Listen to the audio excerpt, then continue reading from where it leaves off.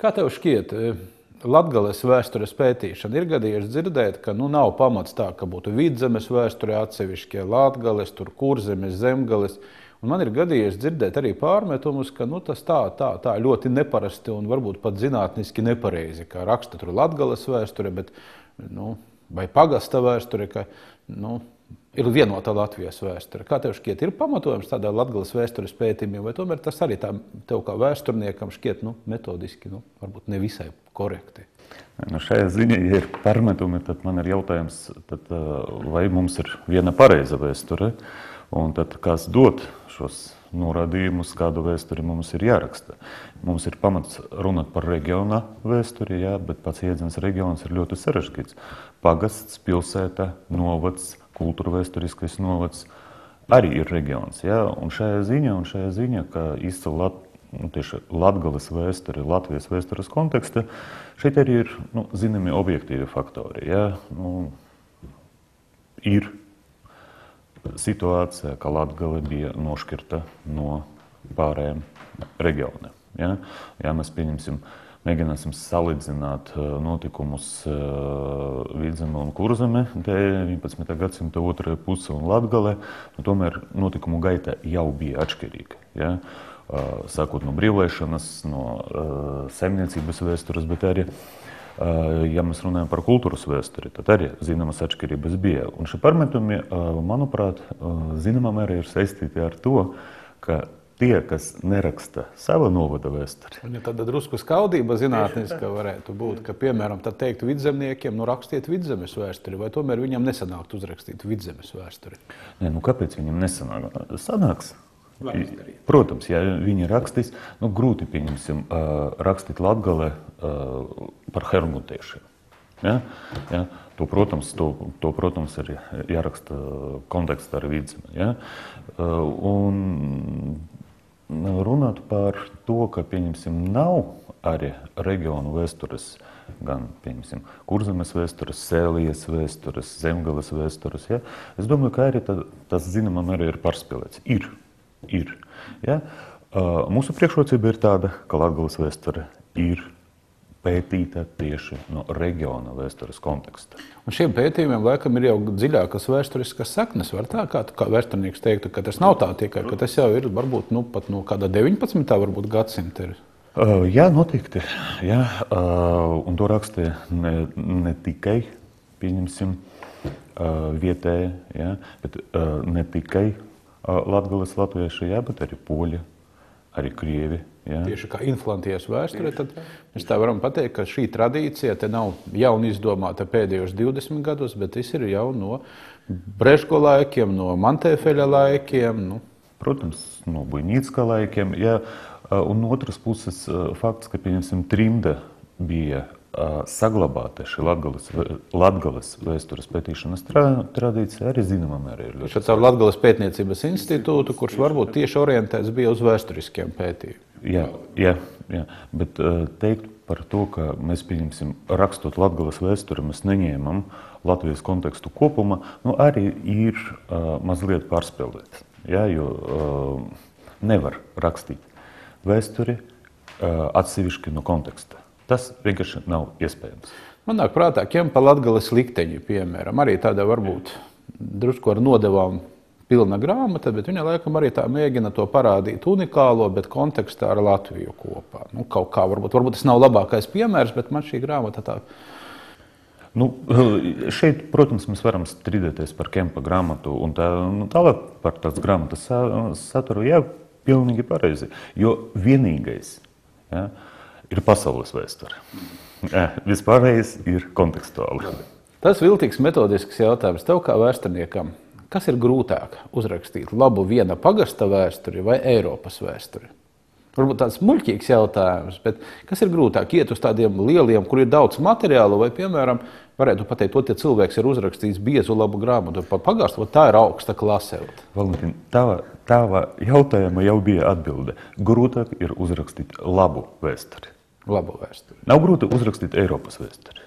Nav grūti uzrakstīt Eiropas vēsturi. Nav grūti arī pagasta vēsturi. Nav grūti arī pagasta vēsturi, bet grūti uzrakstīt labu grāmatu. Tagad, kas ir laba vēsture? Varbūt cilvēkam no malas viņa šķitīs citādāk. Savot kā profesionālam vēsturniekam, ņemot tādu savu kolēģu darbu un arī, protams, nu, metodoloģiskus, kā, kas ir laba vēsture. Varbūt pirms 30 gadiem tika uzskatīts savādāk, kas tā laba vēsture. Pirms 40 gadiem savādāk, kā tagad, kas ir laba vēsture. Interesanta, jauna, oriģināla. Vieni grib vēsturē, lai tā būtu tāds kā piedzīvojuma romāns, interesanta. Citi saka, lai būtu kaut kādi agrāk pilnīgi nebijuši fakti. Citi saka, lai viņai būtu tāds, nu, pragmatiskais aspekts, ka viņa būtu kā patriotiskās audzināšanas piemērs. Nu, šeit, manuprāt, jā, un es sapratu, ka mani kolēģiem, maniem kolēģiem būs daudz iebildumu. Uh, vispirms uh, es domāju, ka uh, laba grāmata, nevis laba vēsture, bet laba grāmata, ir tā grāmata, kur uh, ir parādīti visi iespējami fakti. Ja? Uh, turklāt, tā ir grāmata, kas uh, jau paša grāmata ir uzdoti jautājumi. Nevis sniegtas atbildes, bet uzdoti jautājumi.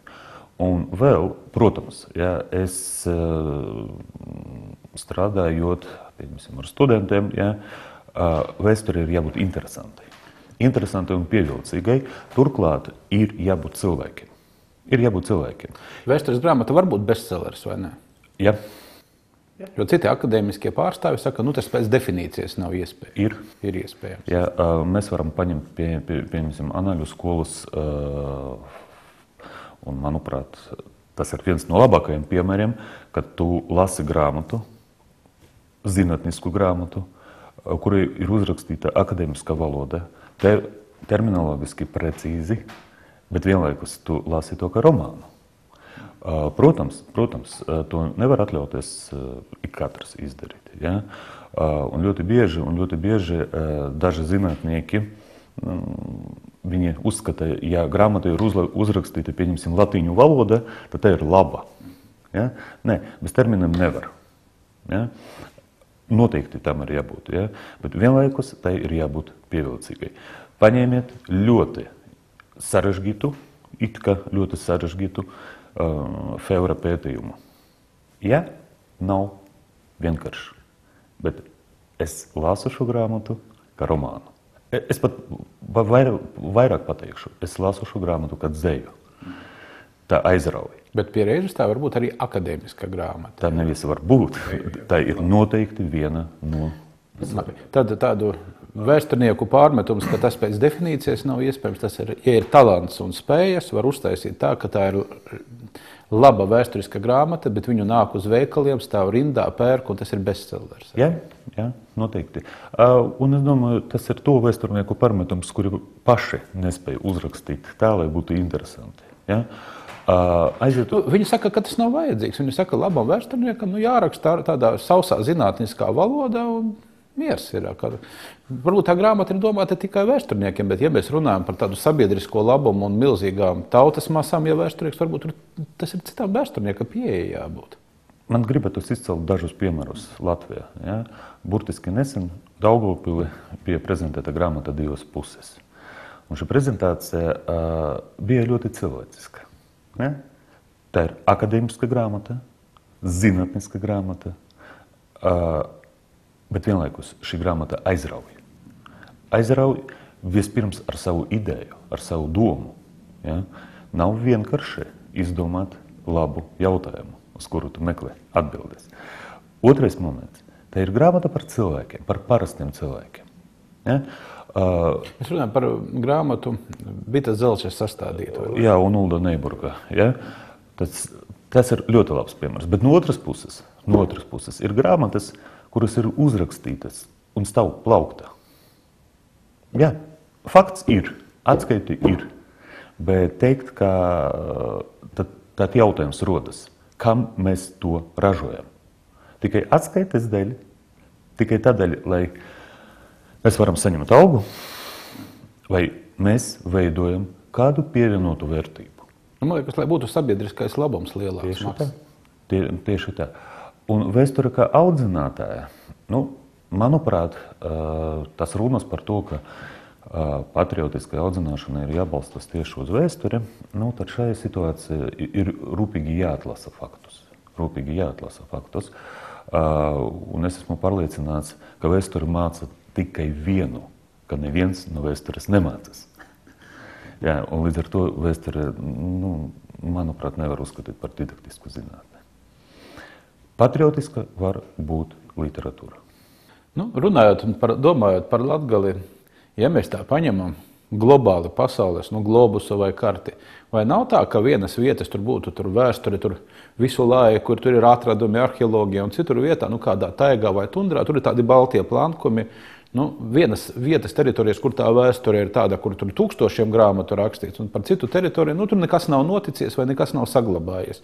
Vai nav tā, ka Latvija atrodas nu, tādā pasaules vēstures pavisam perifērijā, ka mums neko te nevar atrast, ka mums nav arheoloģisko izrakumu, ka nu, jābrauc latviešu vēsturniekiem tur pētīt Eģiptes piramīdas, un, ja tu aizbrauks tur uz Grieķiju vai uz Seno Romu, tad tur tas ir materiāls, un tur tā viss tur var strādāt. Nē, nu, no vienas puses ir ļoti labi, ka latviešu zinātnieki pēta Eģiptes vēsturi un pēta piramīdus. Ja? Ļoti labi, ka viņi to dara ļoti augsta zinātniska līmenī. Tas ir apsveicams. Jā, bet šeit, manuprāt, ir nepieciešams definēt, ko mēs gribam atrast. Romai ir sava vēsture. Jeruzalemē ir sava vēsture. Jā, un, protams, jā, objektīvi runājot, Jeruzalemē ir muzejs, pilsēta muzejs. Ja? Bet no otras puses, nevajag sevi kopt mazvērtības kompleksu. Ko mēs šeit varam atrast? Nu, tā kā citi saka, nu neko. Nu, ko nozīmē neko? Ja? Mēs, tāpat mēs ļoti maz zinām. Te nav tādu kā trojas dārgumu, te nav tādu attaisījumu, tur pilns lāde ar zelta gerboņiem, ar kaut ko. Viņi saka, nu nav mums nekā. Vai tomēr tas ir tas absolūts mazvērtības komplekss? Tas ir mazvērtības komplekss. Mēs negribam pētīt. Ļoti bieži mēs negribam pētīt uh, to, kas ir pie, pie, pie mums. Protams, ir objektīvi iemesli. Ja? Šeit klimatisku un citu apsvērumu dēļ cilvēki vēlāk saka veidot to, ko uh, mēdīju telpa tiek saukt par civilizāciju. Ja? Ka, ka, gan tas nav visi pareizi. Ja?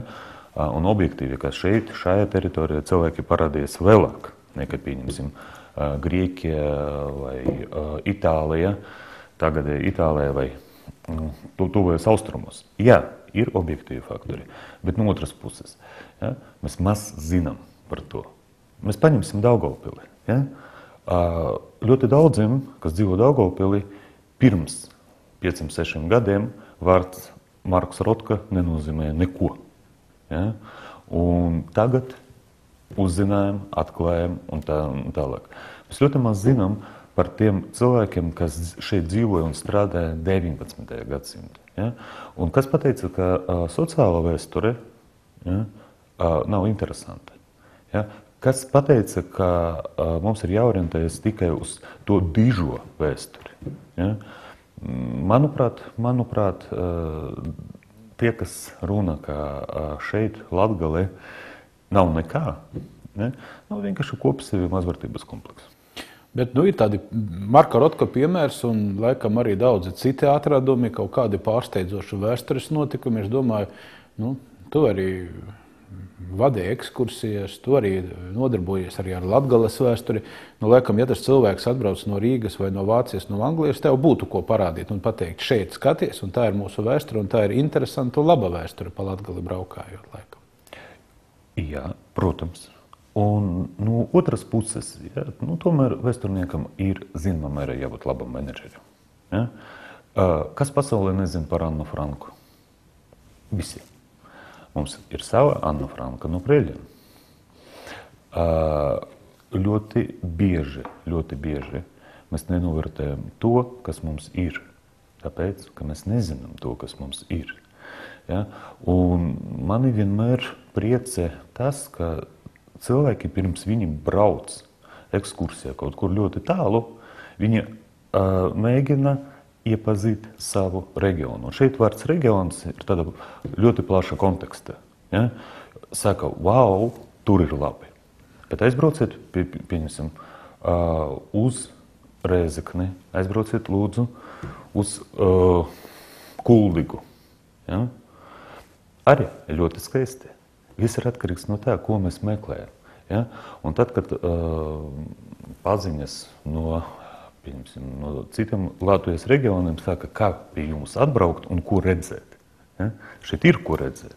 Tur ir gadījies, laikam, arī no tālām zemēm, amerikāņus tur no citām vadāt. Viņiem ir tā, ka viņi latgalē, oh, viņi saka, jā, šeit ir ko paskatīties. Varbūt kā tīri turistam, bet nu, parasti mums tas arī kultūrvēsturiskais turisms ir ļoti svarīgs.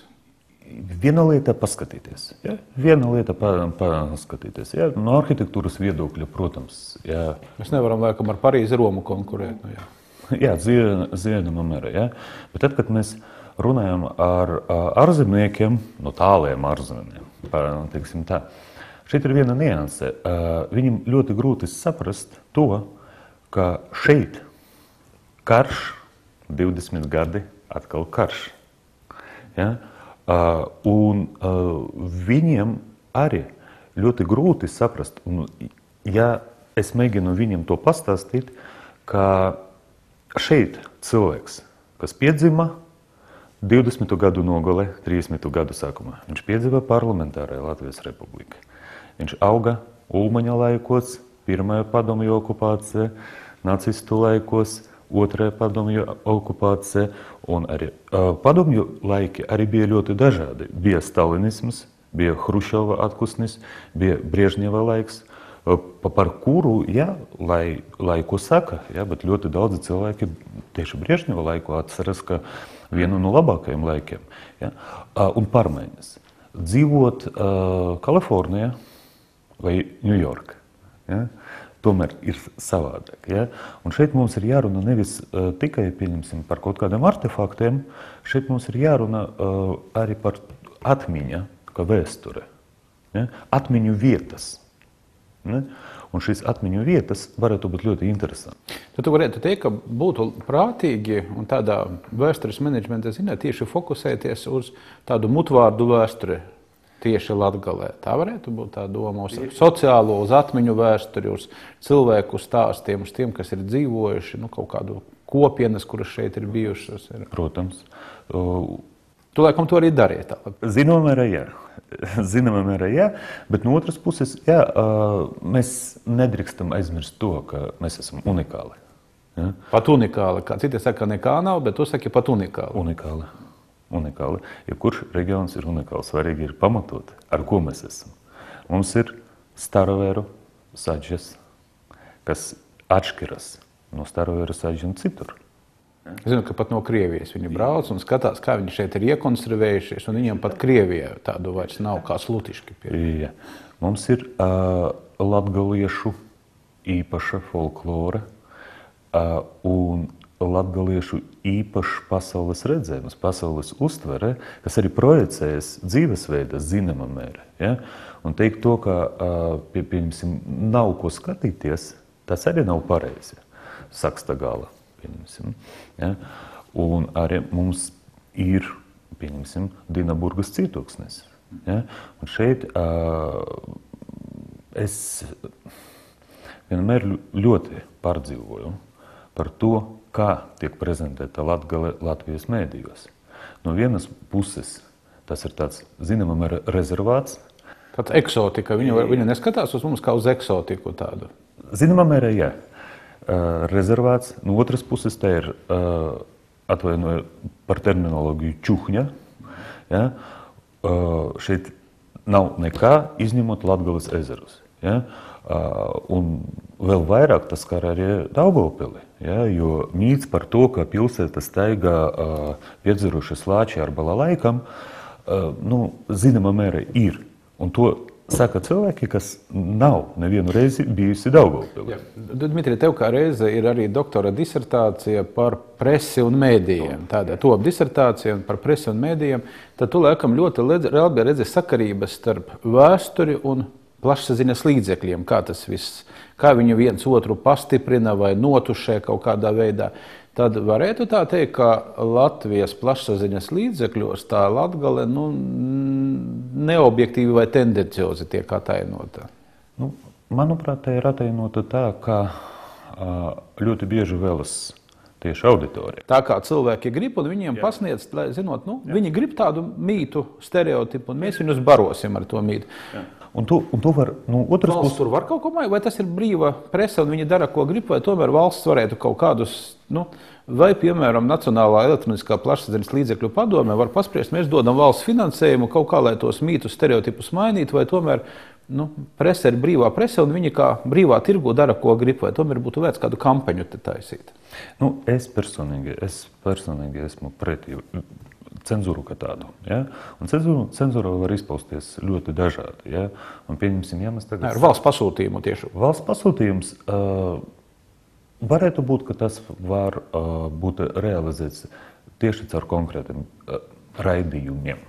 Ja? Tieši ca- caur konkrētiem raidījumiem, ne, nevis tā pateiksim Latvijas a- avīzei, lūk, ir jānopublicē tādu rakstu, visi сегодня nopublicēsim tādu rakstu, un Tā, piemēram, pasūtām raidījumu, atklāja un ieraugi latgali.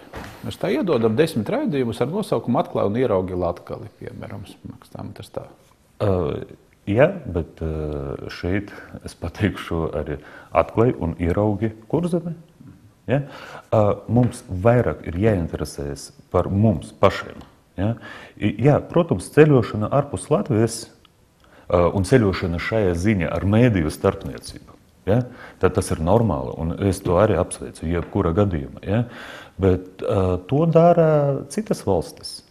Ir kanāli, kas, pieņemsim, rāda par ceļojumiem, un tie ir ārzemju kanāli. Ja? Un mums nav īpašas nepieciešamības tērēt naudu tieši tam. Bet kas rādīs par Latviju? Kas rādīs par Latviju, kas rādīs par Daugovu? Nu, tikai mēs paši. Protams. Nu, Laikam ļoti loģiski, ka vēsture mums pašiem jāpēta. Nu, ja kāds austrālietis arī atbrauks, tad tā nebūs sistēmiska pētniecība. Saki, lūdzu, novatpētnieki, kā tu uz viņiem skaties? Es esmu dzirdējis no profesionāliem vēsturniekiem nu, tādu dažreiz ļoti skeptisku attieksmi pret novatpētniekiem. Šis jautājums tiešām ir ļoti sarežģīts. Ja? Uh, Jums skatīsies daudz Latvijas. Es um, aizvainošu kādus konkrētus pētniekus, ja? bet reizēm ir tā, ka novatpētnieki, uh, nu, ir īpaši cilvēki bez uh, priekšstatiem par vēstures zinātnes pamot, pa, pamatiem, bez priekšstatiem par vēstures uh, faktu mm, verifikācijas nepieciešamību uh, un tā tālāk. Ja? Viņi savāc, savāc, savāc ma- materiālus ja? un izdod grāmatu, un pēc tam Varbūt uh, viņi tā vairāk ļaunuma atnesa, kādus radot nepareizus. Varbūt Jā. nav tā, ka viņi varbūt var daudz ko sliktu pat izdara šādu darbu. Tur kļūdas aiziet gadu desmitiem kaut kādas. Varētu būt. Un, jā, un viņi ļoti bieži tieši viņi ir tie, kas ražo mītus. Ja? Es, es, nesaku, es nesaku, ka profesionāli vēsturnieki, akadēmiski vēsturnieki mītus neražo. Ja? Viņi arī ražo un atražo. Un, uh, bet novatpētnieki, uh, es neteikšu, ka novatpētnieks ir lamu vārds. Ja? Bet priekš manis uh, ļoti bieži ir tā, ka es uz dažiem darbiem skatos zināmā mērā skeptiski. Ko viņam darīt? Viņam vajadzētu kursus rīkot, vai viņam strādāt tandēmā ar profesionālu vēsturnieku. Jo novatpētnieki Latvijā ir ļoti daudz, un viņi bieži vien arī publicē stāvu zemes kalendārā. Viņi saka, tā, tieši no viņu puses pārmetums ir tā, ka profesionālie vēsturnieki ar to nenodarbojas, un tagad mēs te upurējamies un ziedojamies, un mūsu tas viss smagums ir uz mūsu pleciem. Nu, tāds pretējās puses arguments. Šajā, šajā, šajā ziņā es domāju, ka ir jābūt redaktoriem. Nu, šajā, šajā ziņā ir jābūt redaktoriem. Ja? Un šim redaktoram ir jābūt puslīdz profesionālam vēsturniekam. Ja? Un jebkurā gadījumā, jebkurā gadījumā, to, ko dara novatpētnieki, tas nav slikti. Ja? Bet tomēr ir jābūt kaut kādai materiāla atlasei. Ja? Ja runā par Latvijas vēstures pētniecību, nu, nu, laikam nav tā. Mums ir vēsturnieki, Reizeknes augstskola, vēsturnieki, ir Daugopils universitātē. Laikam tikai Rīgā, vēl citos novados nemaz tā nav. Un ir Latvijas pētniecības institūts. Nu, var teikt, ka mums tā kapacitāte un tie resursi ir laikam pietiekoši, ja, tādat, lai mēs varētu tā novada reģiona vēsturi pamatīgi izpētīt. Varbūt vajadzīgs papildus finansējums no valsts puses. Varbūt, nezinu, jo daudzi pat iedzīvotāji un tie paši novatpētnieki saka, ka kaut kā visu laiku, varbūt cilvēkam visu laiku visa kaut kā pietrūks. Nav tā, nav tā, nav tā, nav tā, šitā. Vai tomēr var teikt, ka ir normāli, tikai cilvēki paši nezina kaut ko. Nu, tomēr es negribu uh, staigāt roza brīvības un teikt, ka viss ir normāli. Ja? Uh, no otras puses, vēl viens princips, ja, ka es saku, naudas nav. No tā mums ir nepieciešams iziet un plānot mūsu rīcību no tā, ka naudas nav. Ja? Un šeit arī tavā jautājumā uh, bija ļoti svarīgi fakti. Tad vēsture būs izpētīta. Nē, vēsture nekad nebūs izpētīta. Jo katra paudze raksta jaunu vēsturi. Ja? Tas ir viens moments. Otrais moments, ko nozīmē izpētīt vēsturi. Tas nozīmē, ja mēs izpētām vēsturi, tad ko darīt tālāk? Jā, jo cilvēkiem gribās no tūlīt, vēl trīs gadi, mēs to visu atrisināsim, formulu atklāsim un mieras būs. Tad tā cilvēkiem nekad tā nesanāks. Protams, ka, ka, ka nesanāks. Jo, jo mēs ļoti bieži uzskatām, ka mēs atklājam kaut ko jaunu. Un šeit, zināmā mērā, tā ir gnozeoloģiska pro problēma. Ja? Ko nozīmē atklāt kaut ko jaunu vēsturē? Jo tas jau ir bijis. Ja? Un to cilvēki redzēja. Un viņi atstāja jau kādus, kādas liecības par to, kas bija. Ja? To, ko mēs priekš, sevi, priekš sevis atklājam kaut ko jaunu, tas ir cits moments. Uh, ne. Mums ir zināms, zināmi pamati reģiona vēstures pētīšanai, bet resursi tomēr ir stipri ierobežoti. Uh, un, nauda cilvēki? Uh, nauda cilvēki. Jo uh, reizēm pietrūkst nevis naudas un cilvēku, bet laika. Un pašā varbūt noslēgumā par tādu varbūt vēsture ir drusku perversāku formu, man tā šķiet, par maigo varu. Un, nu, mūsdienās ļoti svarīgi laikam ir nevis tādi jau īstie kari, bet parasti runā ir informatīvie kari un informatīvās kampaņas un manipulācijas ar cilvēku kādu vēsturisko izpratni, ar vēsturiskiem faktiem. Un, ja to tam cilvēkam ieskaidro, viņš jau gan drīz kļūst par tavas maigās varas pārstāvi. Kā tu skaties uz to, vai nav tā, ka tomēr nu, šobrīd ir ļoti rafinēta ir kļuvusi tā vēsture un tiek izmantota nu, tādiem politiskiem, ideoloģiskiem mērķiem, sākot no teikām, ka tās ir mūsu izsenās zemes, un visi stāsta, ka latgalieši dzīvojuši Maskavā, vieni stāsta, ka tie visu laiku izsenis dzīvojušas citas tautas un vēsturiskie notikumi ka nu, tā visi dara. Man viens saka, nu, mums vajag likt pretī informatīvo karu, un informatīvais karš ir mūsdienu absolūta realitāte, un vēsturnieki ir iesaistīti visās šajās informatīvajos karos. Tas ir normāli, vai vispār var izvairīties un tur nelīst? Protams, idealizēta veida, ko nevar sasniegt. Tad mēs varam uzskatīt, ka vēsture nav politiska zinātne. Vēsture vienmēr bija, ir un būs valstiska zinātne. Ja? Mēs varam atcerēties uh, pagātnes notikumus, ja? kad tieši vēsturniekiem bija dots uzdevums atrast iemeslu karam, atrast iemeslu pretenzijām. Ja? Un šo iemeslu var atrast. Ja Maskava, kas ir Maskava? Baltu zeme. Ko mēs pieteiksim tā, tagad karu Krievijai? Jā, mēs varam teikt, jā, un tas ir zināmā mērā nevis zināmā mērā, un tas ir pareizi, ka Molotova-Ribbentropa pakts ir noziedzīgs. Ja? Bet ko tad mēs darīsim tagad? Mēs atdosim uh, Viļņu un Viļņas apgabalu Polijai, Kaļiņgrādas apgabalu un daļu no Polijas uh, atkal Vācijai. Par ko domā šie cilvēki, kurie mēģina veikt kaut kādu uh, politisku revīziju, izējot no vēstures faktiem? Ko nozīmē maiga vara? Es negribu pārvērtēt. Tomēr es negribu nenovērtēt mūsu cilvēku, Latvijas iedzīvotāju prāta spējas.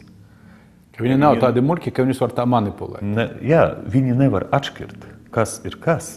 Un no otras puses, ja, arī nevajag uzskatīt, ka uh, cilvēks, normāls domājošais cilvēks, visu, ko viņam stāsta, uztver kā diktafons. Nē, tā nav. No otras puses, viedokļu polarizācija. Ja ir argumenti, tad runāsim argumentu valodā. Ja? Un tas ir pats svarīgākais. Ja mēs klieksim uz katra stūra, ja, tā ir mūsu zeme, tas nekad nepie kā laba nenovada. Mediju loma šajā ziņā ir ļoti svarīga. Svarīgi arī domāt par to, kādas būs sekas. Ja? Un šajā ziņā maiga vāra normāla parādība.